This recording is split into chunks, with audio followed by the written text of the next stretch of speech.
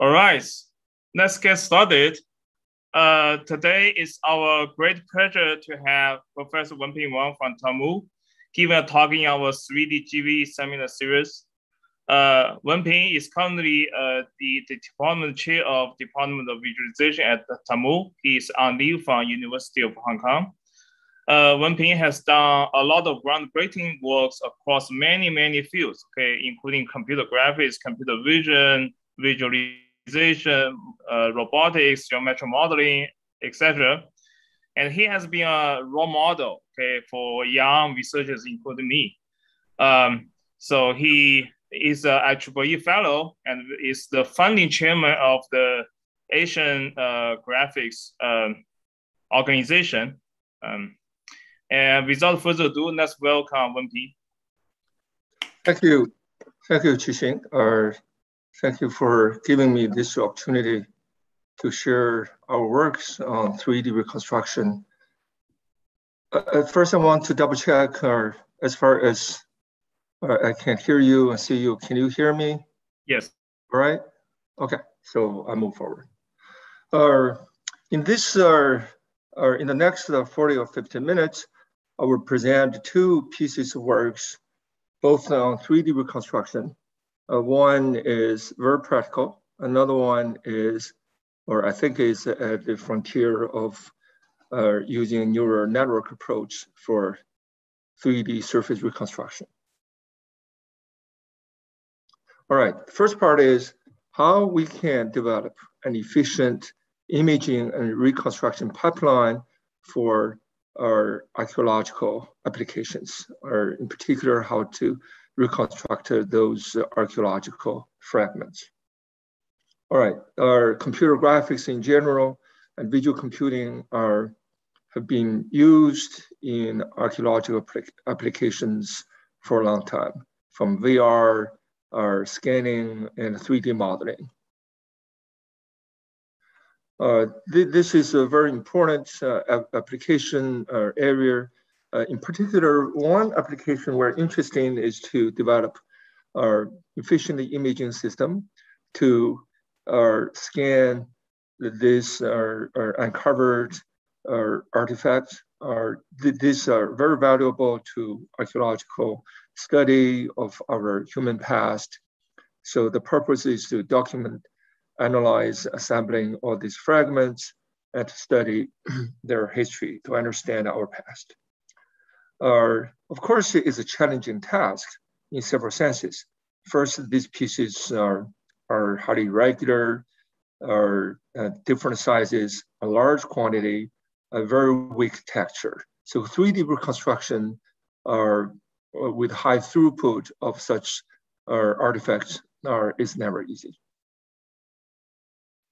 Uh, what you're saying is the actual excavation or, or situation in Armenia in the past summer are conducted by one of our collaborators uh, who is our archaeologist are working at uh, University of Hong Kong. He is a collaborator for this uh, research work I'm presenting. Uh, okay, so you see him here. I think there's another video. Uh, okay, yeah, the guy at the forefront, his name is Peter uh, Cobb uh, is a professor in chronology. Uh, he was leading a team in Armenia to build all these pieces. Okay. All right, what are the technical challenges?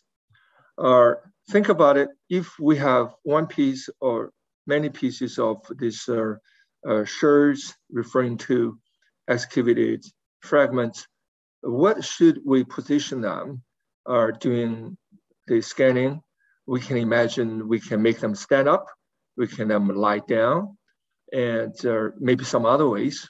Uh, I will keep you in suspension, try to guess what other different positions we could use for scanning. But even for standing up and lying down, as shown here, it's hard for us to scan the entirety of a piece because you always need something to hold the piece or there is a board to put it on flat. So you always have to use more than one pass in order to scan uh, the entire geometry or surface of the object. This makes it uh, the whole process not so efficient. So here we see stand mode, the lie down mode. For example, if we stand up, then the manual operations needed for you to position them twice and scan in two pieces. And with some post-processing and reconstruction, you later uh, piece the two 3D model together to get a complete model. This is a wide use approach. A line down approach, you can, uh, the advantage of a line down approach is that you can make multiple pieces or uh, put it on flatbed and scan them. But they're always the front sides, back sides, we need to scan and reconstruct. Uh, so you could uh, you could scan them in, in a batch or with, for example, seven pieces here on the left. But once you got the front side, back side, we need to register the two sides together. The challenges here is because those fragments are thin or flat, are only the side strips are commonly visible in the two processes. That is, the common areas or overlap area for registration is narrow, not big area. That's the only common area we have to rely on to perform reliable registration. That is a potential challenge. All right, so here we say our normally our hundreds, even thousands of fragments can be uncovered or every day. Uh, not only we need to develop a system that is easy to use, portable, affordable, not too expensive, we have to make sure the throughput, that is number of pieces we can process is sufficiently large, several hundred or thousands per day in order to make it uh, useful. There's one interesting note. Suppose a team of our scientists uh, went to Armenia to dig all these pieces uh, in one summer during the span of eight or seven weeks. Uh, if we cannot scan them to get 3D models or, or in time during that period of work, then we don't have data because many countries don't allow scientists to or to or to, to move or take these pieces away. All you need to do here, otherwise in the summer you dig, but once you're back in university, you don't have access to those or, or, or fragments, artifacts, because well, physically you cannot take it away digitally. If you don't have an efficient system, you cannot scan them are in time for reconstruction. So this is dilemma we want to address. All right, related works are this uh, scanning or the or, or, or, uh, archaeological pieces has been one of important application computer graphics, even in uh, mainstream journals like SIGGRAPH and uh, TOG. Uh, here you're looking at the 3D scanner system. They are uh, doing something similar, not necessarily uh, are sherds, but called fresco. It is it's part of kind of a wall painting, and uh, it is a very slow process. They use a laser scanner that can only process one piece at a time, and also there are other works uh, which can uh, you always need a manual operation. At least you need to take away uh, the model or or and replace other models. And the scanning can be, can need to be careful. Uh, it take a long time.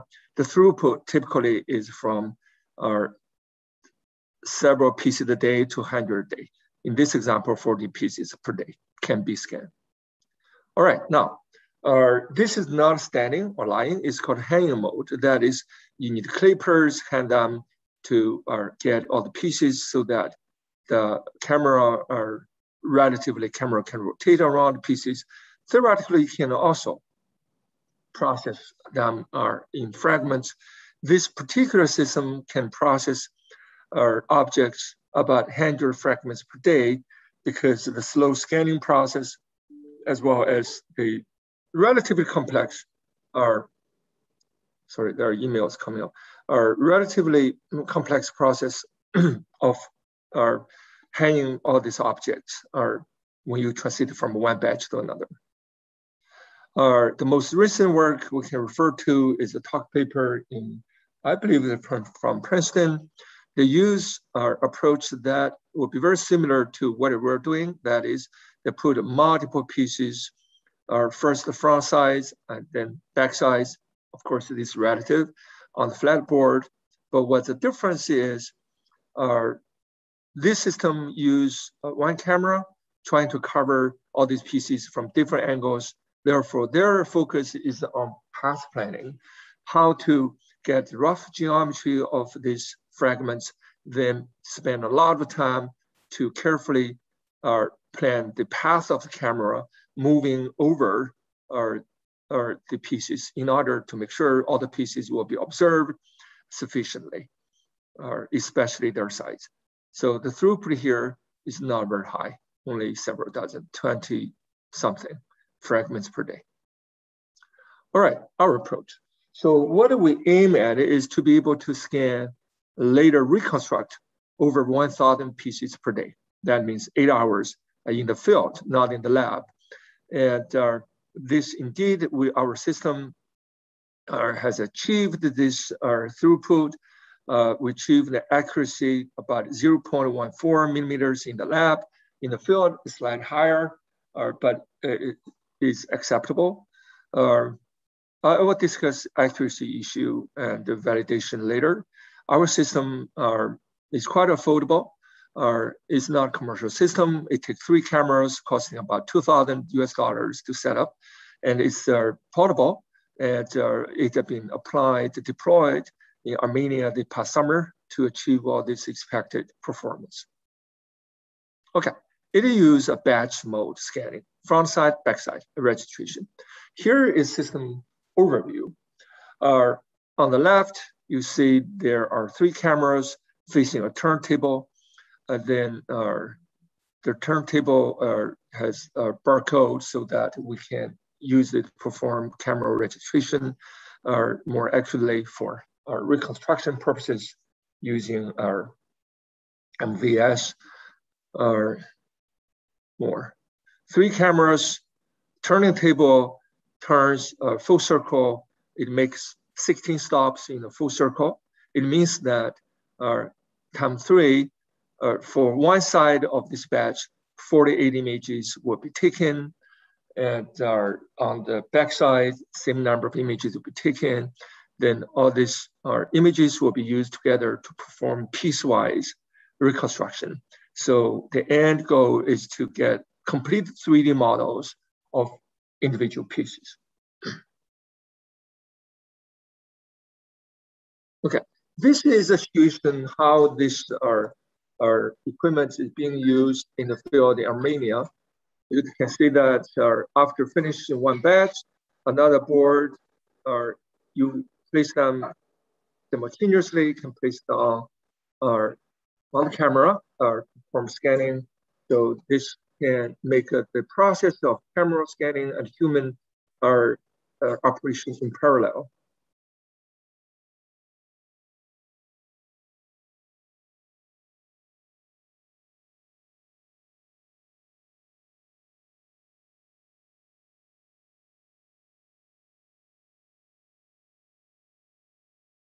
Okay, now the pipeline itself. uh, from the left, uh, we're showing uh, the scanning process or the situation for the front side, back side of the same batch, same set of fragments of nine pieces. And uh, on each side, are so you basically each side they do separate 3D construction. Of course, although 3D is only partial, is only the one side, once you get both sides, or at the middle of this pipeline, you have 3D models of the front side, back side.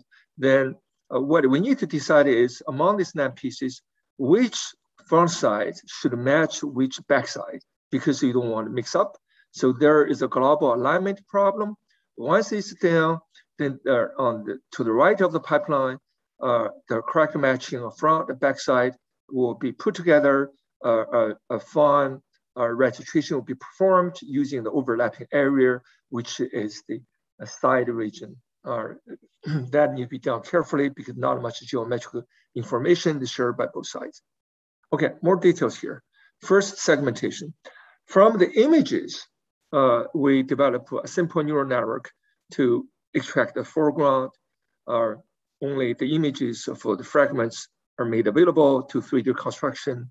Uh, we use off-the-shelf MVS software uh, to perform 3D construction for each, each side. This is segmentation, and uh, then one side of this nine pieces will be performed, reconstructed. On the right, there are 3D models, but not complete, only partial. Only on the side you can see. Then suppose for both sides, front side, back sides, we perform 3D construction. So how to perform global alignment. Here instead of using a brute force 3D searching, we take advantage of uh, the approximate 2D nature of the fragments. That is, these pieces, they're not flat, but they have the main direction, look relatively flat. Or imagine using PCA analysis, we can approximate, uh, get roughly the top view of the piece to get the 2D silhouettes of these pieces. From the 2D silhouettes, uh, we perform a 2D contour matching uh, to see which pair matches the best. As you can see here, yeah. So we form these matchings. It means that the corresponding front side should be matched to the corresponding back side. Then use this information, we go for our, the, our final registration on the right. Okay, so yeah, this is a 3D registration based on global initialization. Uh, the feature points along the boundary are only these points on the boundary are available because they are shared. They can be used for registration. Other parts are cannot be used for registration. So this is challenging in uh, achieving high accuracy. Now, now, how to validate the accuracy? So we need ground truth. For this purpose, our, our my students actually bought five uh, five pots of pottery pieces. Uh, then uh, they are broke it up into smaller over 100 pieces, or scan them using high or, or accuracy professional grade scanner called our EinScan. Uh, the scanning accuracy for this scanner is 0.04 millimeters. Uh, about five times or more accurate than our own fast imaging system. We use this result as ground truth for validation. Uh, five pots, uh, by the way, are they forgot to take photo for one of four pots, so you can see only four. These five ports are are, are, are broken or smashed it to get 133 fragments. Uh, it takes several days for them to use a professional grade scanner to scan them very carefully. This is a data set against which we validate our, our, our pipeline or system, see uh, how to achieve the better accuracy. All right, this is situation of scanning process in the lab to have you, to let you have a more our, our careful look to appreciate uh, its working procedure.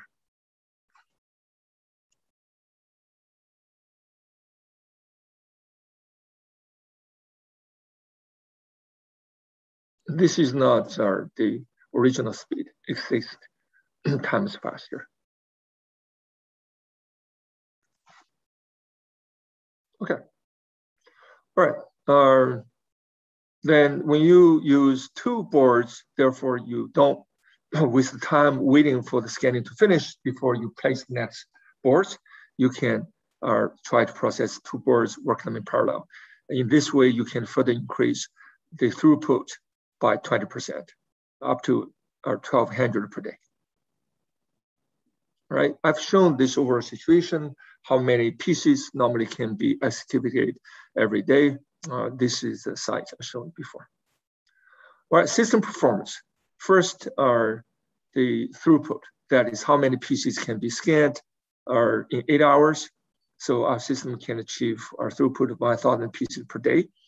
Our, our, we achieve the accuracy of 0.14 millimeters on this uh, data set are in the lab. Uh, of course, this really depends on many things.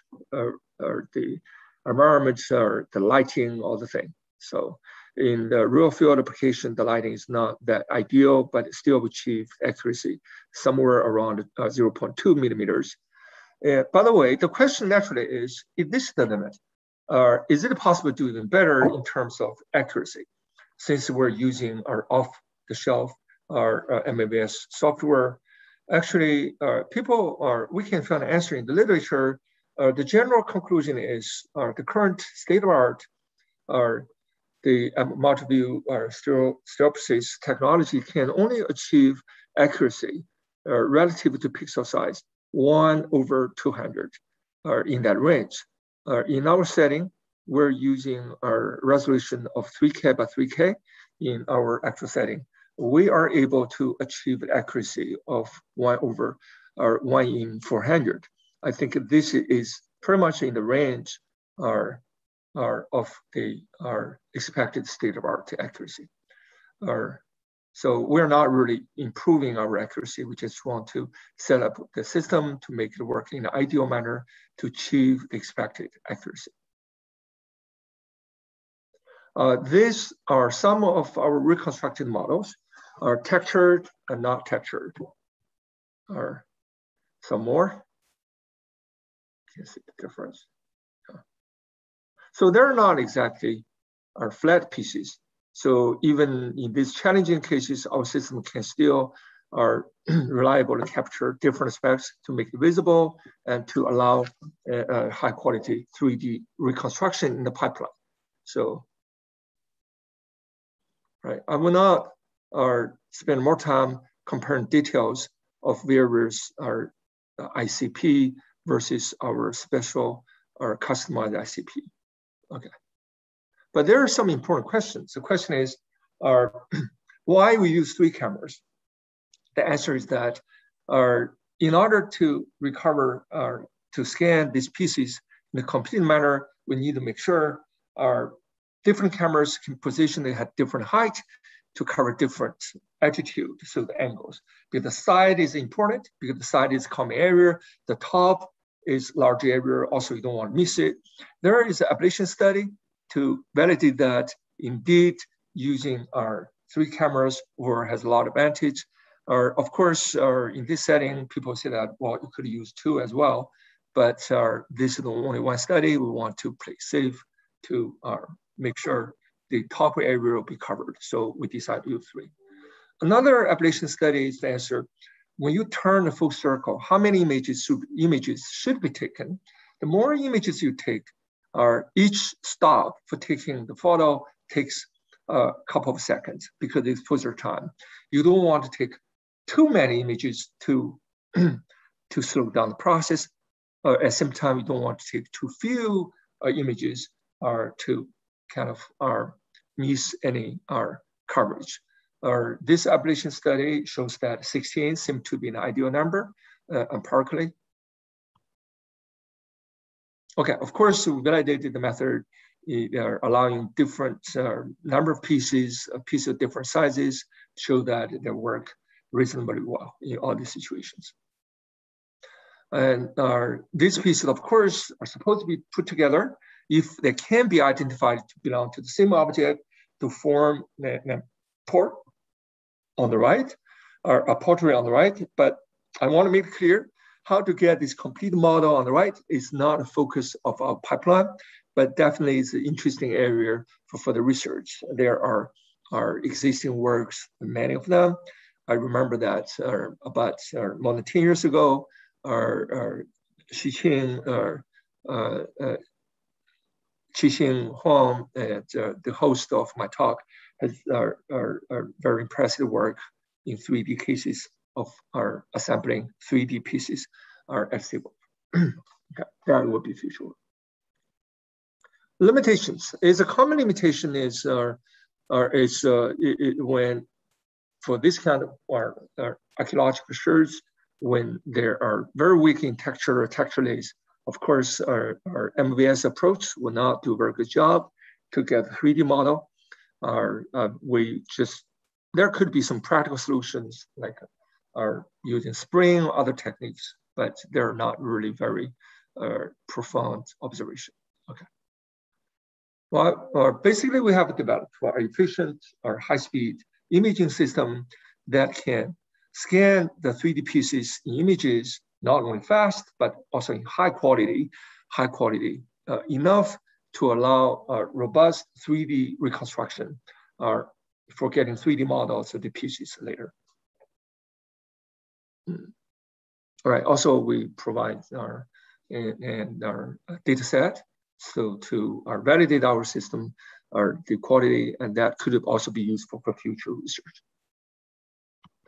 All right, I finished my first part. And Peter, uh, should I go ahead to go to second part? Yeah, please go ahead. Yeah. Okay. So, we can... so I'm still pretty much on time. All right. Okay. The second part uh, is also about a 3D construction, but it is a totally different nature. Uh, it doesn't have much practical applications, not yet.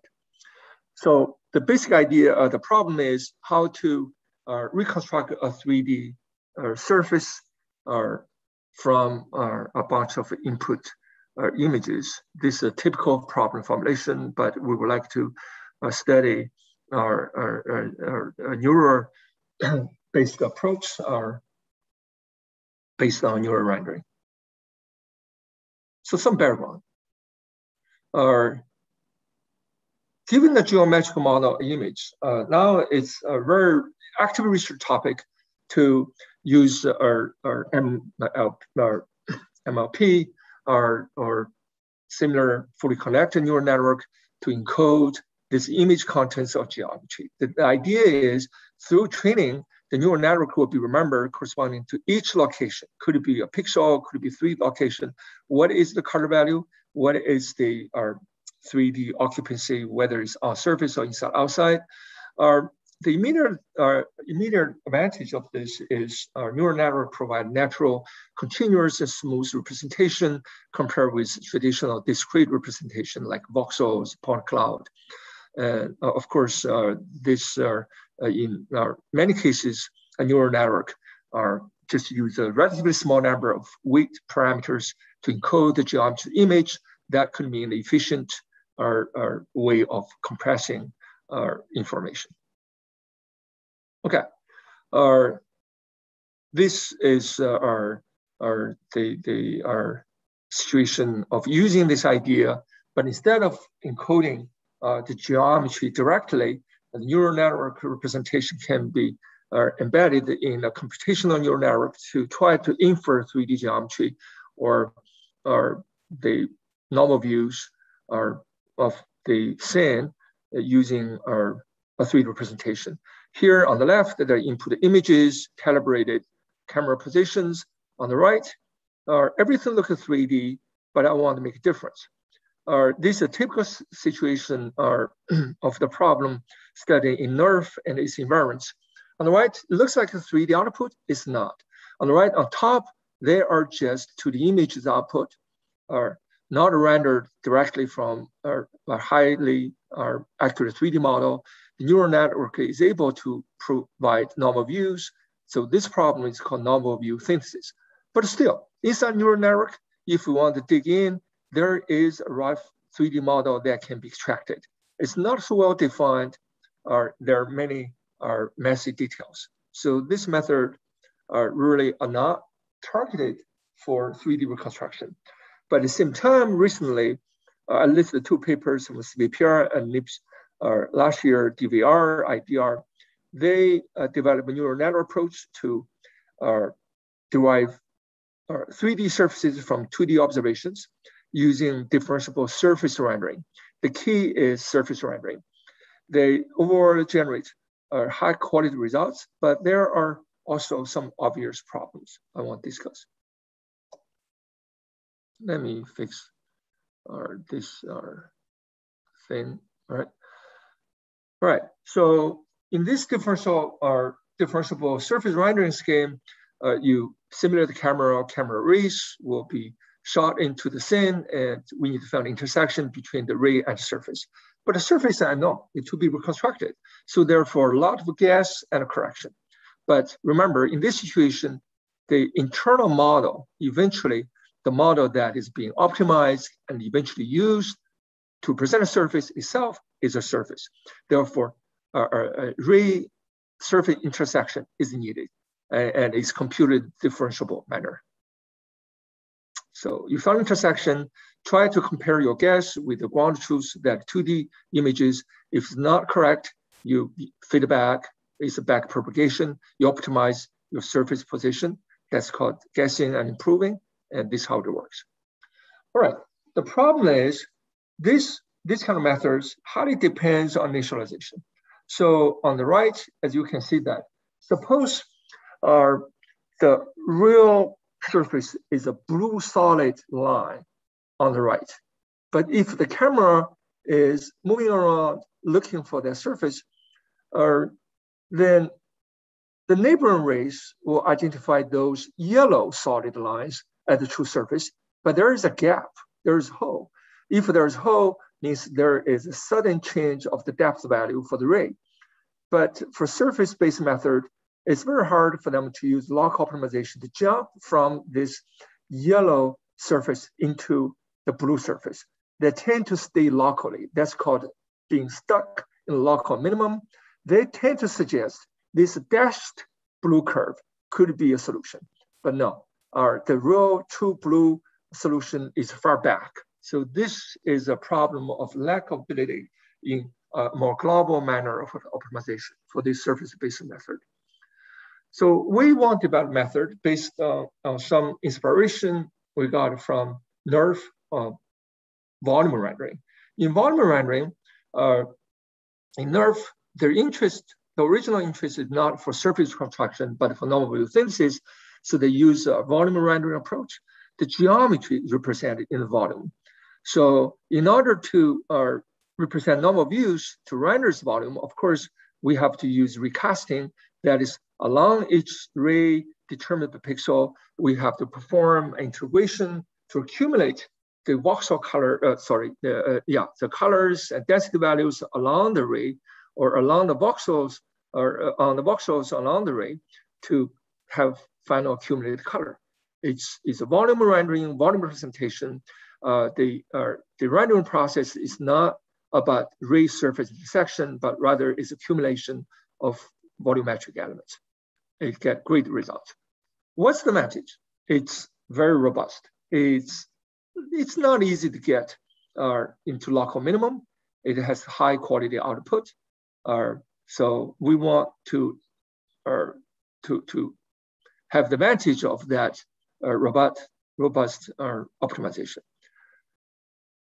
But uh, it's only good, NeRF is only good for novel view synthesis if um, there is internally or volume-based representation, pretty much like a voxel, a density-based representation. If we use a Marching cube to extract its geometry, that can be delivered by NeRF, or the geometric quality is not very high, as you can see on the right. There are many messy details, but these details are hidden by texture, but from other views, they look all right. So now, our, on top, we have surface-based rendering. We do want surfaces in the end, but we don't like the use surface uh, all the way in the process. Uh, at the bottom, it's volume-based rendering. This focus is not on surface representation. So we want to combine these two approaches. So the basic idea is, all right, we have a surface representation, surface rendering. We have volume representation, volume rendering. So in our new approach, we want our method to uh, internally uh, through the volume representation, we want to impose an explicit surface representation during the pipeline of learning.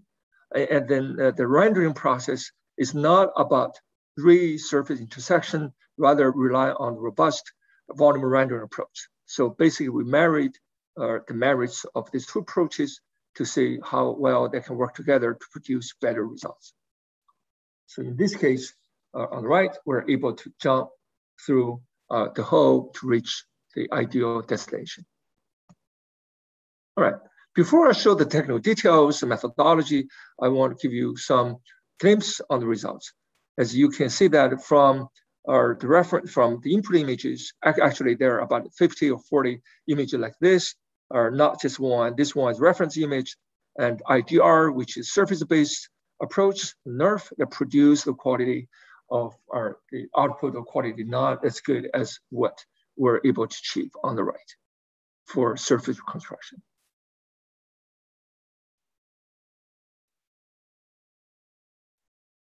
Okay, a little bit details here very quickly. And the essence of method is to represent a surface using sign distance function. That is, we assume it is a watertight surface. It has uh, uh, a, a sign distance function. And this distance function is not just defined in the post-processing stage. It's initialized at the beginning. Or the entire uh, learning process is try to learn indirectly this distance function. So in the end, we're able to extract a zero level set or of this SDF to get the surface. So how to learn distance function. This distance function could uh, induce a density distribution in the volume. The density distribution are in the volume, uh, they can be assigned voxel colors to lead to pixel colors through the volume rendering. And uh, this is a, a typical volumetric rendering pipeline. The only difference is we not only we use a volume representation, but behind it, we have a primary underlying surface representation defined in terms of SDF. So, so SDF gives us volume density in the neighborhood of the surface. All right, um, this is basically a review of the NeRF uh, used for convenient reference. I, I skipped it for the moment. Okay, now, uh, look, uh, what's important, uh, there, there are some math details uh, we can't cover it here. I, I want to give you a situation. What is this a straightforward idea? Can we just implement this, get results, and show that it's better? Actually, it's not that uh, straightforward. The process is not that smooth because uh, let me use uh, the figure on the right to explain uh, what uh, is a potential challenge here. Uh, on the right, for illustration purposes, we are using our lower dimensional illustration, 1D, 2D. So our, the vertical dashed line, the red line, is the position of the surface. Okay, is the position surface. Imagine the surface. And then uh, the red bell-shaped curve is the SDF function of the surface. Okay. And of course, this SDF, we can make it symmetric because our, our define the bell shape is easy. Okay, uh, normalize it. Uh, okay, the, the, the straight line, the blue line SDF, but it's induced our natural our SDF density function uh, with a peak at surface location using the red, or let me see, do, I don't know. But Peter, can you see the cursor here? Can you see it? No? Hello? Can you see the yeah, cursor? Yeah, yes. Okay. Yeah, yeah. So I use this. So sorry, take time. So this is a DF function. This is a density function, the red curve directly defined. But we know that for any volume representation, we need to perform ray casting to accumulate all the voxel from the ray. The ray casting process basically is a process of integration using some weight function here, W, weight function, to combine all the colors along the ray and the density. But then if we use a simple approach like this, then we realize that they are, it, it, we realize that the our weight function will take the shape of this bell-shaped green curve, but this peak value is not the same as surface location, which is bad. Why? Because if we believe this is where surface is at this our, our red line, then the weight should have the largest response, give it largest weight here to encourage the convergence to convert to here. But the weight function always have a peak value somewhere in front of our true surface. Uh, this is a problem with a straightforward implementation. So the error is not big, it's noticeable, but it need to be understood and fixed. What will be the ideal framework to define this weight function?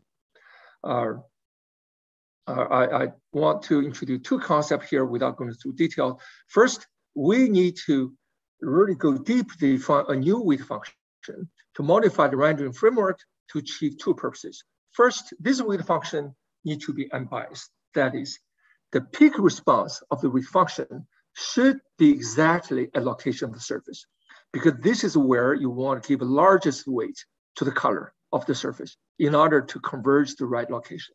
It's called unbiased. Second, occlusion aware.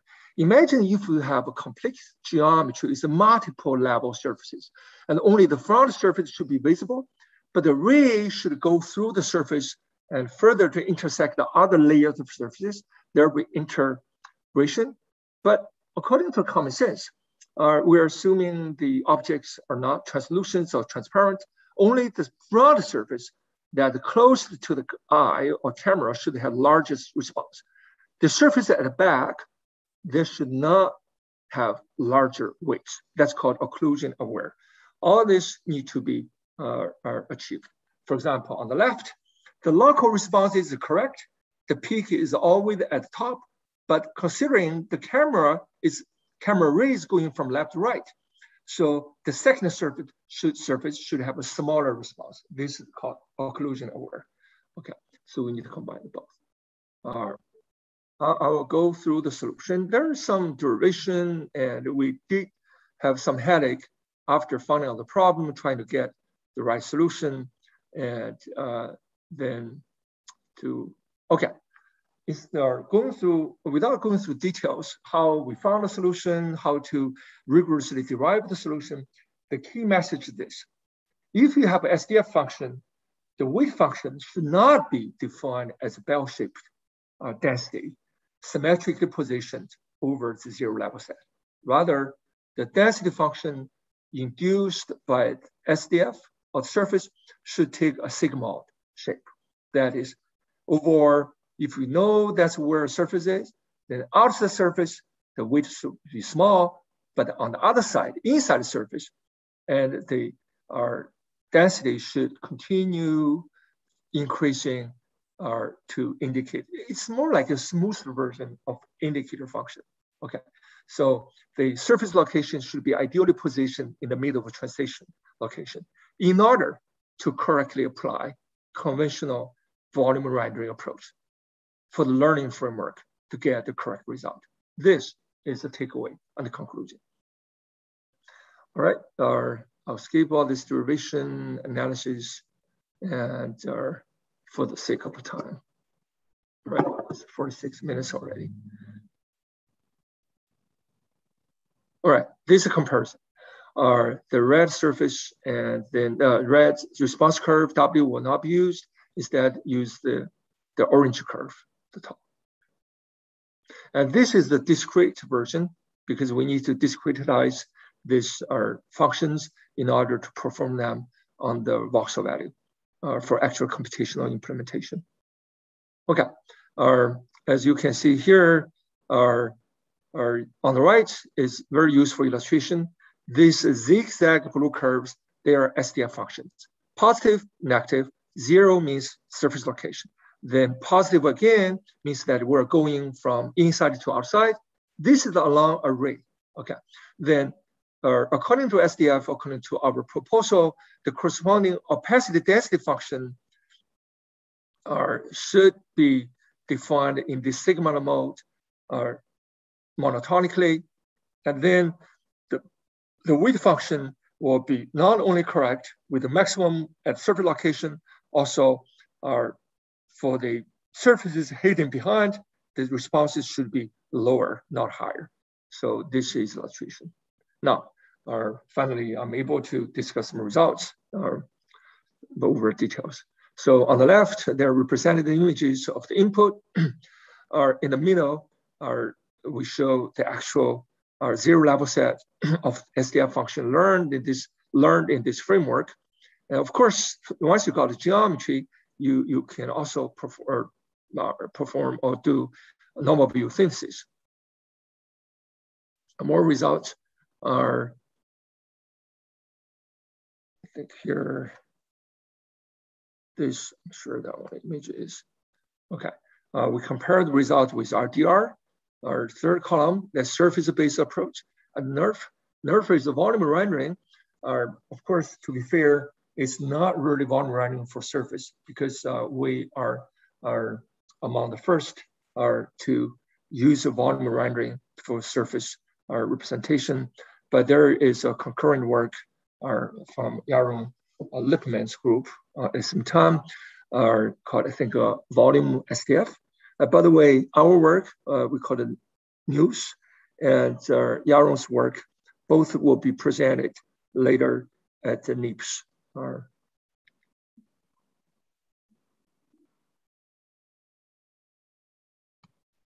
okay, how to move forward? You know, I I got stuck here. All right, so here we see that our, our reconstruction framework can also be used uh, to reconstruct challenging objects like this uh, thin structure. So these uh, features are not rich, you have only wires, and the wires have a small dimension.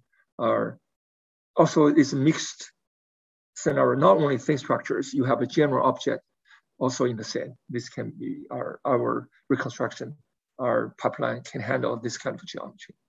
All right, this is a comparison with our, our other approaches, including a conventional approach to COLMAP, uh, that is our MVS pipeline.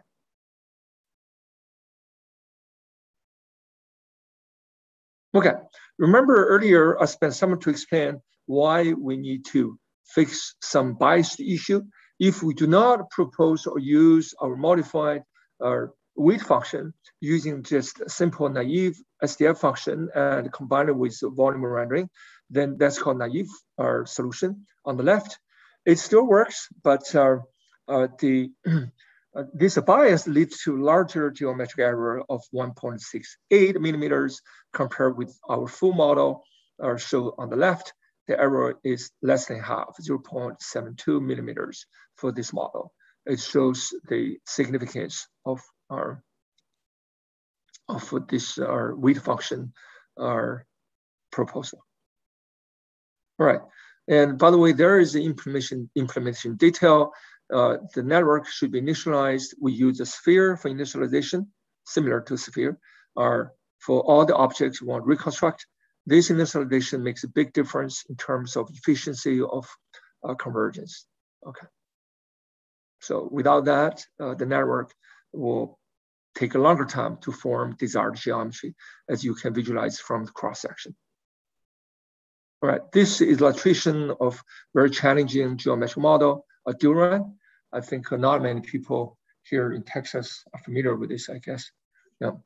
Uh, but challenging model, and uh, this our video sequence shows the our intermediate geometric shapes are we can found in our reconstruction pipeline. All right, more results are using DTU model.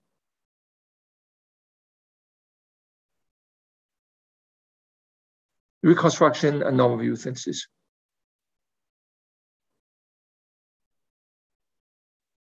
Using different uh, blended MVS dataset. All right, limitations. Again, our features, our uh, texture is important in our regions not well lit, our texture is very weak. Our methods still are demonstrate a lot of problems. Uh, so our, of course, uh, efficiency is another issue. It's commonly shared by uh, many current or, or neural or rendering-based approach. Are, all right. Okay, this is the final page. I would like to thank all my collaborators and students who have are made a great contribution to this work. They're from Hong Kong U and MPI, and also Louisiana State University. Thank you. I'll finish it here. Okay, thanks. Thanks, Wenping, for the wonderful talk. Now we enter into the, the panel session. Uh, uh, so we have uh, two panelists, uh, Yin Yang and Xifeng Gao, um, joining us for, for this panel uh, session. So the panel session works as this, right? So we first have uh, one round of uh, one or two rounds of questions uh, regarding the talk. Then we open the discussion to more general topics. Uh, this is a very exciting time at the intersection of uh, geometry processing and deep learning. Uh, so we will open the discussion to more general topics. So first of all, I would like to um, hand this to our panelists if they have questions regarding the talk. Maybe Yin, you can start first. Right. Uh, thanks, Wenping, for for this wonderful presentation. I, I have learned a lot, you know, and some of the you know the the the, the conclusions is also very inspiring for my own research. And I do have a, a few few few uh, probably not questions, just uh, maybe maybe could potentially and uh, lead to some open discussions. And uh, for the very first project you just mentioned about the archaeology and the uh, uh, reconstruction stuff.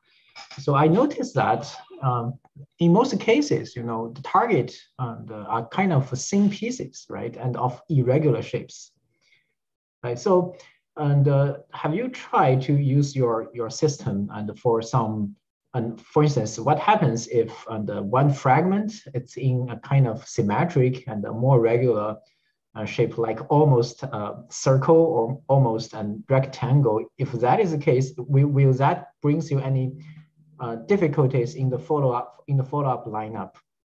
No, right? I think so. I think so. And uh, I think uh, to push the stream, uh, suppose uh, we dig our, our, our, basically what our thing is, if the front side, back side, the shape are, are, are similar, it's an interesting question.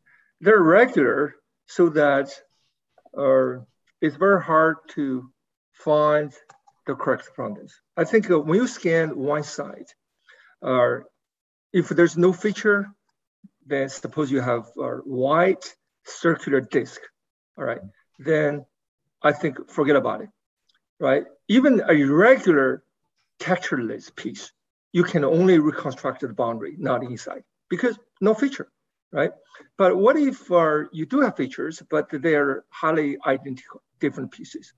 Then the difficulty you might be referring to in the later stages, the front side, back side cannot be, because I have nine pieces front side, another nine pieces flip over back side, then the, your scenario will confuse me to find the correct global matching. So I might match one front side to the wrong uh, back side. So then this is a combinatorial error we cannot get over. This okay. is what I can think of. Yeah. Okay. Okay. Also, uh, during uh, in this in this project, have you ever uh, considered about the thickness of each fragment, or you just consider them is uh, is is afraid of any thickness, or there is is so the actually the alignment between the segments is it's a it's a it's not just a line registration, right? It's not just line, it's, it's kind of a, a tiny slim surface registration. Am I right? Uh, or you just uh, but there there are several there are several registrations. Maybe it's confusing. Okay. And once the front side, back side, 3D models are, are, are, are, finished, we want to put them together, right? Front side, back side, put together, uh-huh. both 3D models. And for this problem, there are already two registration problems. First, globally aligned, correct front to back. Okay, this is one registration. But when you align them together, it doesn't mean that are close to each other. You still have to do 3D refined registration to make sure that's ICP, to make sure it's aligned together. Okay. The first registration, how to perform correct combinatorial matching, we reduce 3D models into 2D profiles. I see. We compare that only approximate matching to tell this front and that back should belong to the same object. Okay. Of course, there's the error because pieces are not flat. Even distribution you mentioned, if they're all circular, got confused. But in our case, because we're lucky, they're random in unique ways. We match them together. But then after that, we use that initialization. At least they, they in one dimension, they're closely aligned together as a global initialization. And then, then after that, we'll perform a second stage registration using ICP. But our, this stage has something to do with thickness. Because thickness means that how much area available on the side. That is the only area common to both front and back. Yeah. So if it's very thin, maybe we don't have much point. But if it's so thin, this is like curve. Again, it's easy, right? It's curve registration. But the problem is, it's not very thin, but still it's an area you need to explore. And plus that the angle, the lighting may not be good. The points or other information observed from there are not reliable. These are the main source of or the geometric error. Yeah, on the side. The thickness is a very tricky issue. If it's very yeah. thick, we're also happy, right? Because right, they're right, right, right. easy to observe so many features. Because yeah. ICP has only six degrees of freedom, we don't need so many reliable points. But ah, yeah, that's yeah. true. That's true. Okay, okay. Thank you very much. And also, I, I really like the the high level uh, the idea of your of your of your um the the, the next the second project. It's um it's fascinating. Uh, the, it, it is a this year's uh, uh, NeurIPS, right? Yeah, yeah. There, this uh, has, yeah recently accepted to NIPS. Yeah.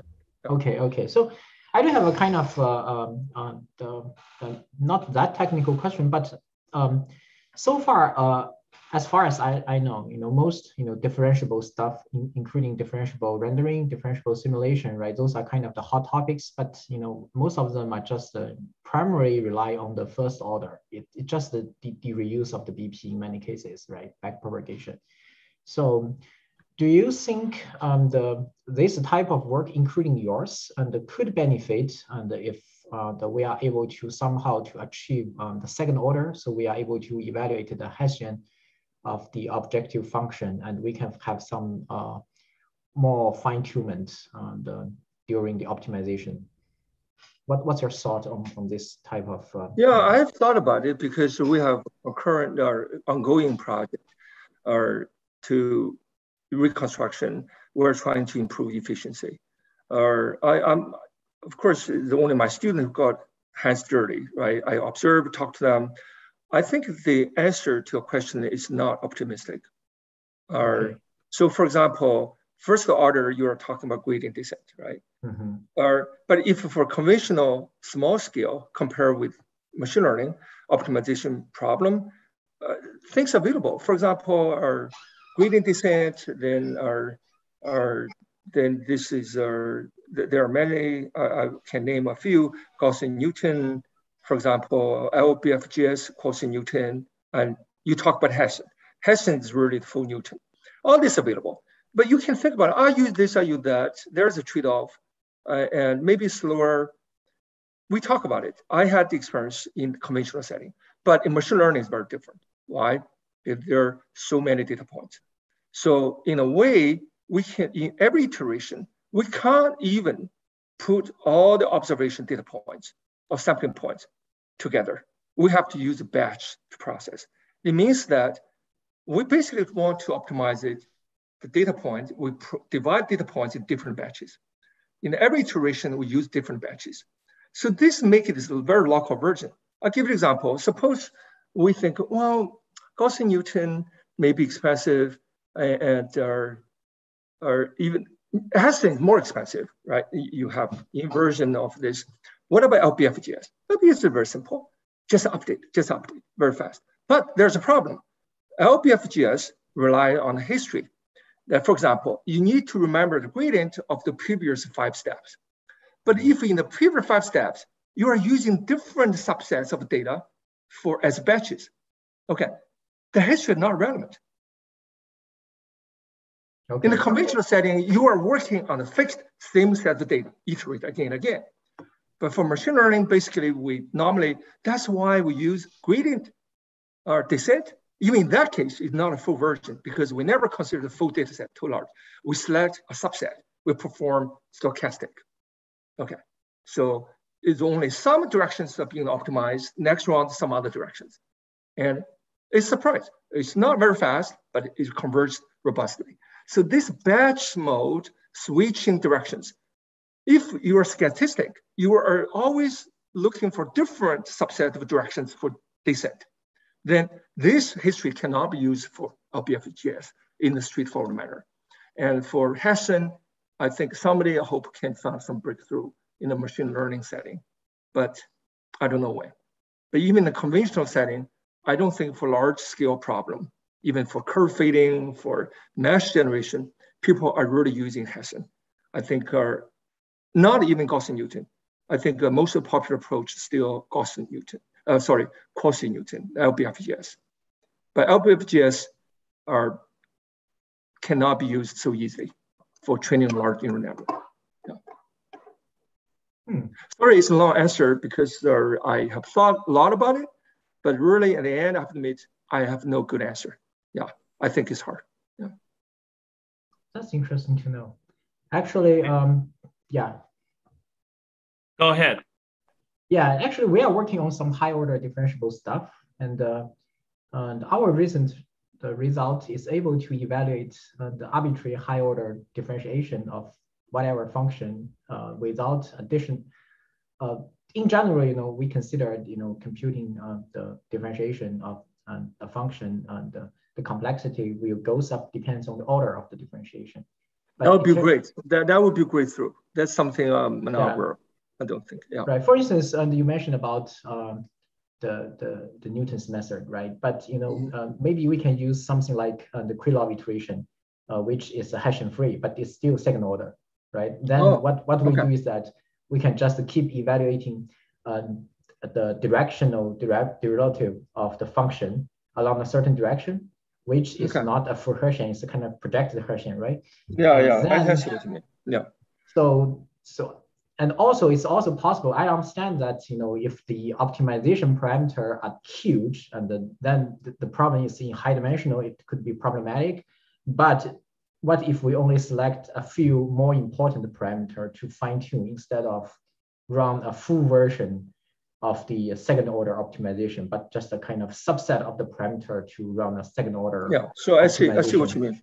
Yeah. Full, full Hessian means all directions considered, but you can right. choose uh, a small number of directions, but uh, instead of a go gradient, you want to use high order information but right, a small right. number of select directions. That's a very neat idea. I've never thought about it. Yeah, but uh, I think uh, it sounds like you have already got the results. It sounds promising. Yeah, yeah but not in the context of the, the, the 3D reconstruction. So I, I I'm kind of want to hear your feedback or your thought, you know, whether this uh, is kind of a no, worthy uh, direction or yeah. I don't want to start discouraging because uh, I based on my response on my limited experience.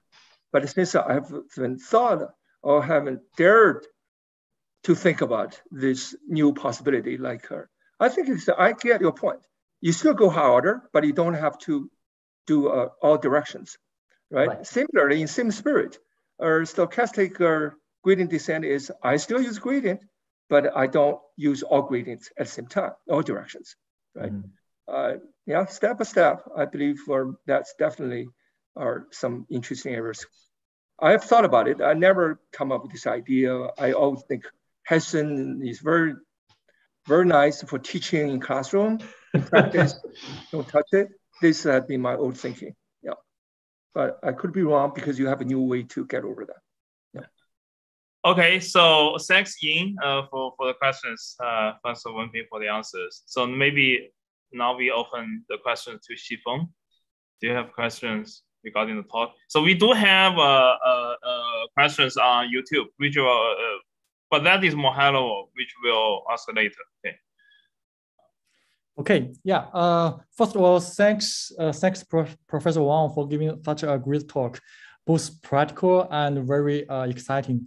So these topics, you know, recently, I, I recently started to look at these uh, especially the differential rendering, this related stuff, because it's highly related to what I'm doing right now.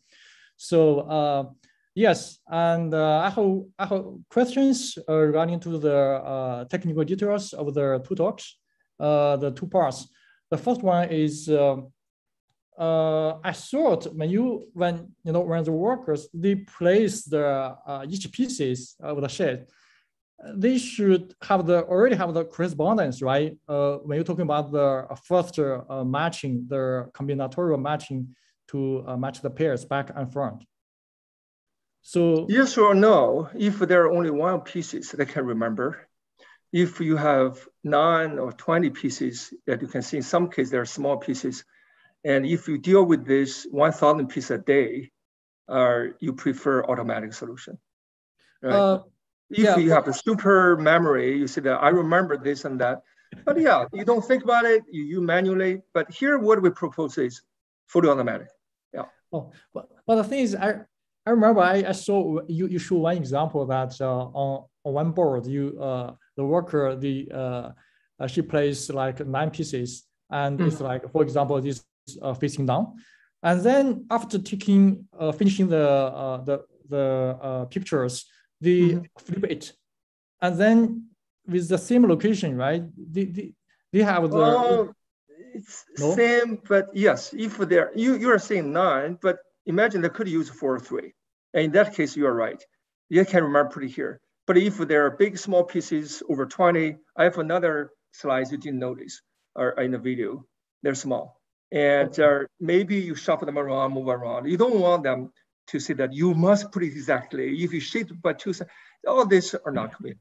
They're okay. not doing it only once. They're doing so many times. There are thousand pieces a day. So it's always better to, well, they can still try to remember, but uh, we provide automatic. Uh, yeah.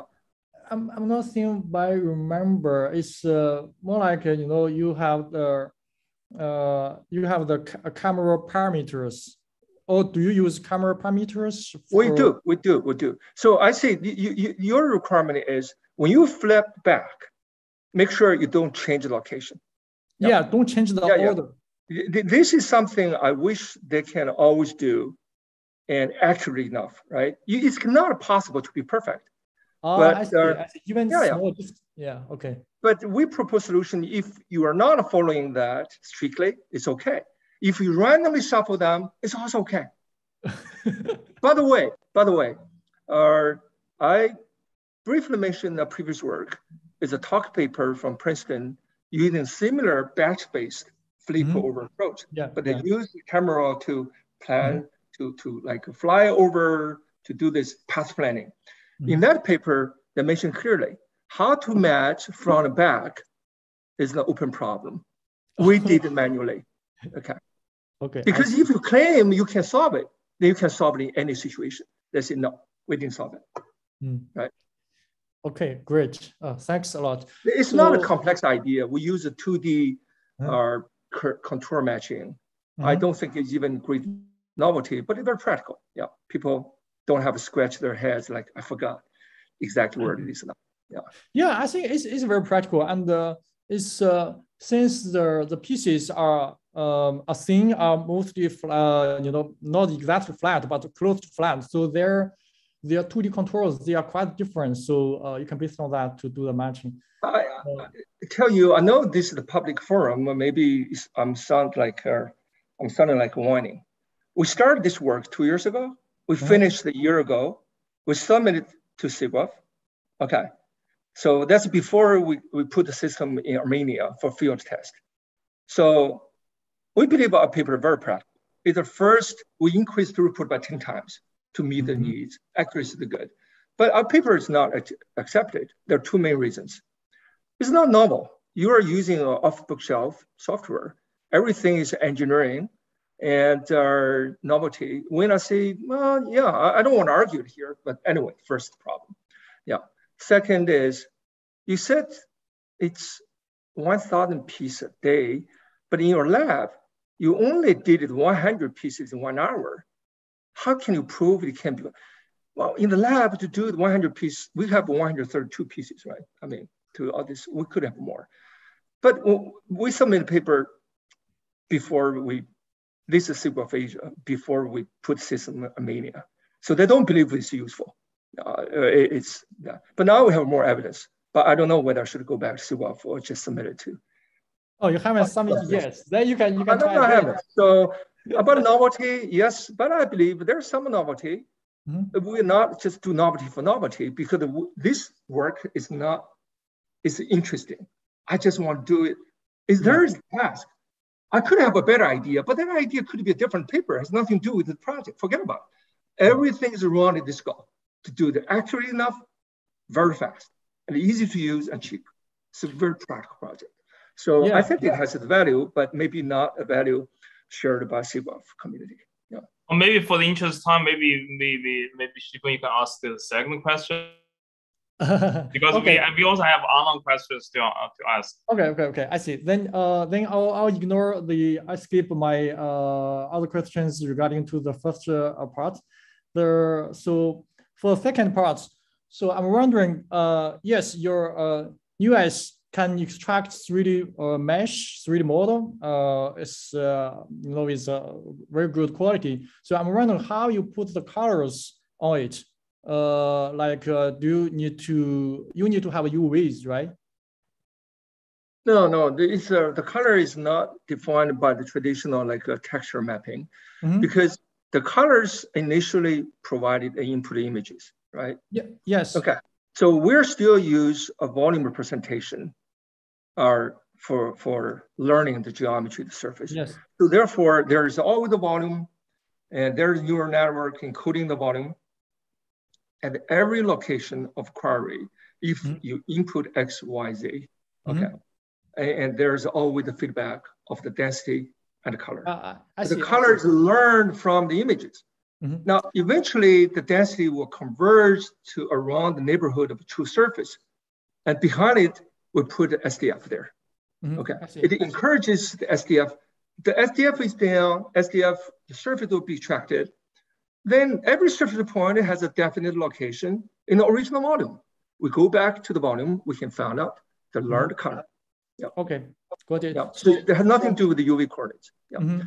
But how to do it more efficiently in general, consistent manner as mesh representation, that'll be interesting, right? Eventually, after reconstruction, you want to give that to downstream to the pipeline. So how to get UV map from this result? We, we, we didn't consider that so far. We just Okay. render that for you to see. Okay, Okay, I see. So, so basically, uh, I'm wondering, uh, by getting the color in this way, uh, is there any noise? How, how smooth about the colors? It depends on the uh, uh, the input quality. The input quality means the image quality, also accuracy of camera calibration.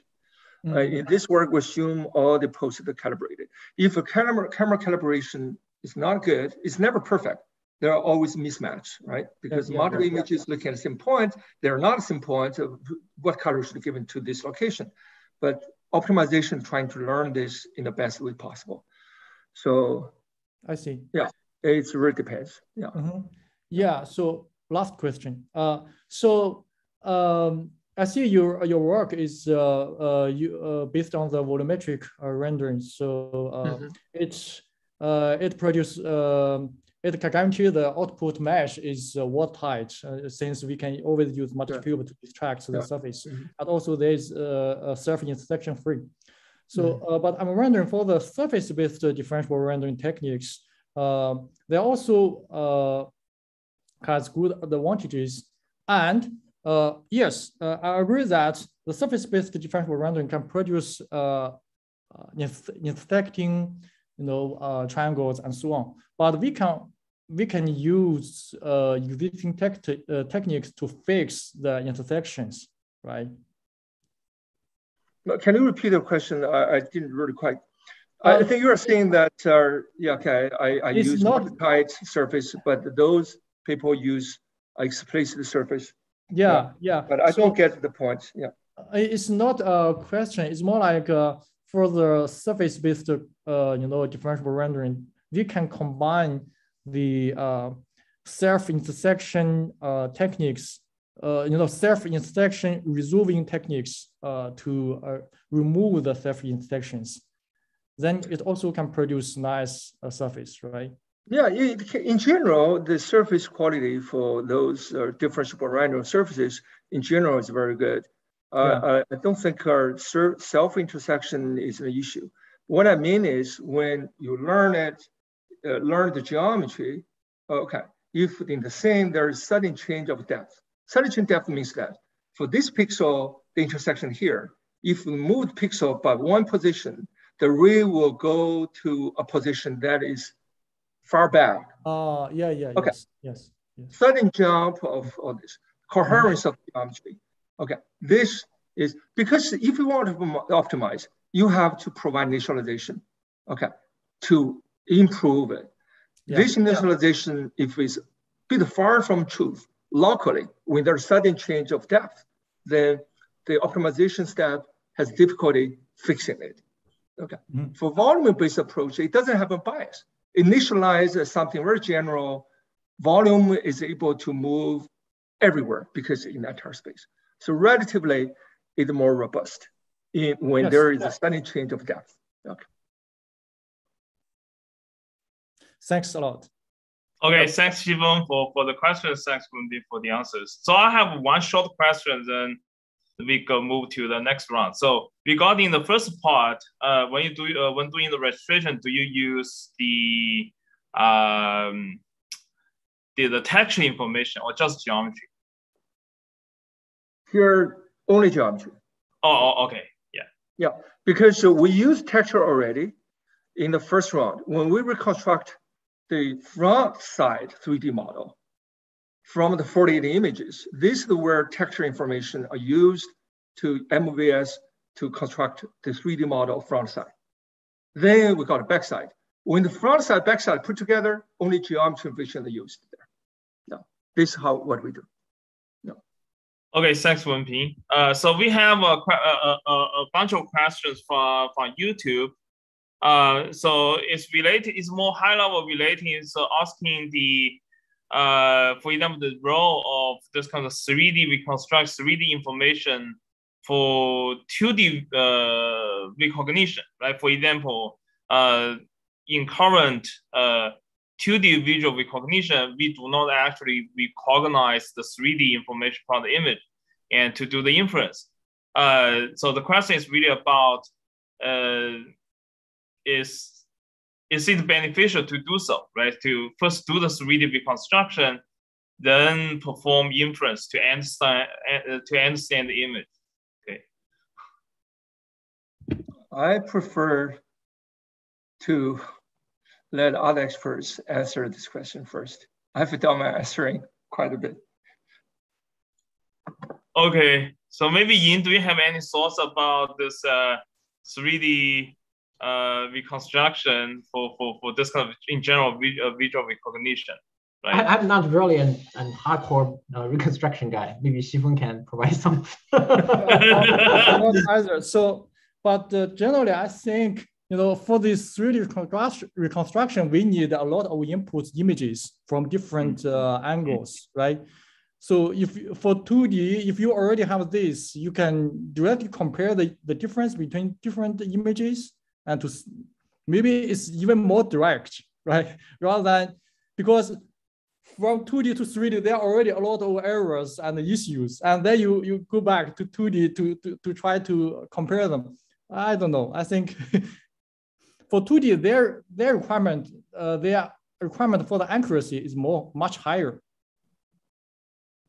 Yeah, so my thought is that we we need to to, to do this, we need uh, data sets for like uh, reconstruction in the wild, right? So for example, like uh, in graphics, we focus on reconstructing in specific environment using the sensors, but for 2D uh, for 2D visual recognition, we do need uh, data sets that can reconstruct in this kind of natural images, right? Inferring the depth. We don't really have the data sets to do that yet.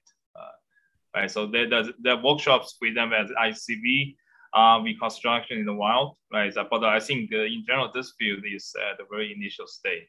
Okay, all right. The, the, the questions from the YouTube. Now let's move to, we have about maybe 10 minutes to, to move to on this, uh, for example, the 3D reconstruction in the uh, in, in the future, right? So in particular, for example, like when comparing uh, how people like taking photos, right? The reconstructing 3D models um, is still costly. I think uh, uh, when, uh, when this talk made a fundamental leap in terms of like uh, how we can do this very efficiently, 10 times faster is a, a landmark achievement. But in general, so how we going to uh, what are really the maybe even the fundamental uh, challenges here to, for example, to reconstruct 3D models as easy as uh, we, uh, taking photos, right, images. So maybe we can have some thoughts on uh, some some comments on this. Maybe we start.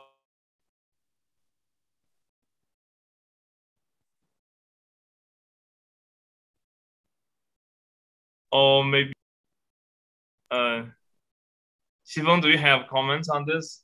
Um, uh, you, you mean about the, the, the, the future or the potential for this uh, 3D reconstruction, right? Uh, I think it's, okay, Facebook changed the name of its uh, company. So Metaverse, Metaverse is coming. So Metaverse, one important, uh, you know, basic or fundament, uh, fundamental uh, technique for the Metaverse is about 3D. So users should be able to uh, create 3D models efficiently and with um, you know good quality or but actually I think you know uh, it's uh, it's definitely a, a, a trend and uh, you see right now the demand for 3D models reconstructions is uh, stronger getting stronger right especially from images right we take a photo and uh, maybe three views for example to uh, reconstruct the human body or human movements three photos, we can get a 3D, uh, you know, uh, human body. Uh, although the quality is not as high as we uh, we imagine, but it's getting higher and higher. I think it's we are on the on the path to to you know uh, to to get that point. Okay. Yeah. Well, uh, my, my limit is is this for the vision of the future as uh, Xixing and uh, Xifeng said, VR, AR consumption. I think the need for reconstruction are based on their smartphone should be are video based, should be easy to use, that is, fast. Instead of taking minutes or hours for our simple object, or we want to input or import into AR environment, it should be, reconstruction should be done in seconds. And representation doesn't have to be always 3D geometry. It can be uh, network encoded. As long as you can view that object correctly, you can manipulate, all right? Because it's not really for 3D printing, it doesn't have to be 3D geometry all the time. Uh, therefore, some light field approach could be used. And finally, uh, 3D reconstruction has different requirements in terms of accuracy for different applications. For SLAM, for other applications, maybe geometric details are not important. You can do it in real time, as uh, recently uh, the group in Zhejiang University has achieved real-time video. But if for, for, but for some other application, maybe you do want high quality reconstruction because uh, that uh, is reconstruction task. You want to create the object just not for your own use for this moment. You want to create this for some other virtual environment, like game or movie or animation. Uh, in those scenarios, maybe the high demand or accuracy would justify a longer processing time, and uh, so on and so forth. So there are different possibilities. Okay, thanks, Wenping, for, for, for the answer, uh, comments. Uh,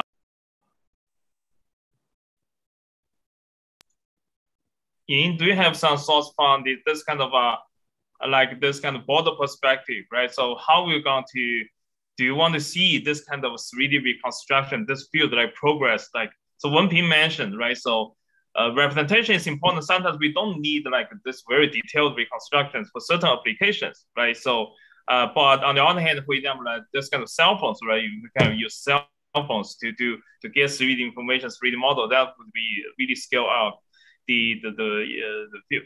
Okay, so into what is uh, like your thought? So I I I, I very much agree with the uh, Dr. Wang's opinion. I, I feel like that uh, the the 3D reconstruction in many cases is not our ultimate goal. So in many cases, it is followed by some downstream applications, right? So what you want to do with the whatever you know those 3D informations, and you want to create an image, right? You, you want to do image novel view synthesis, or you just want to do identification, and uh, or you want to generate an virtual reality, or you want to create simulation stuff or you want to do the 3D printing. I think different application and will drive different directions of the future 3D reconstruction. So to towards a higher accuracy, towards a better performance, right? To towards to uh, uh, the faster and uh, reconstruction results, or maybe dedicated for better and uh, detection rates or more or uh, a high accurate, a more accurate detection rate. You know, for instance, for autonomous driving, this type of stuff. So I I I I feel like that this is kind of the future of all the computing. I, I don't like universal computing, the, the concept of universal computing. I think computing should be dedicated and especially profited for different applications. So this is the first thing. And I, I and another thing is that I really think that the, the true breakthrough is happening at the hardware level, not at the software level. This is my personal opinion, right? And uh, basically, if we look at the look at the, the, the what, what computer science has been developing, you know, we are using, at least for myself, I'm, I'm simulation people, right? I'm, I'm using the algorithm hundreds of years old, and I'm very happy with those algorithms. but what, re what really makes a difference is this hardware. We have GPU, we have, we have faster CPU, we have GPU, we have maybe in the future a quantum computer, right? So those those hardware makes all the different computing problems and full, full of uh, different possibilities. So I'm, I'm so excited and see the future, you know, at the intersection between the application, the hardware, and uh, um, the, the customized algorithm. Okay, thanks, thanks Ying, and thanks uh, Wenping again for the wonderful talk for the interest time. Uh, so let's close the so this week's of uh, uh, 3D seminar, thanks Xifeng for attending and the wonderful discussion. Thanks all. Okay.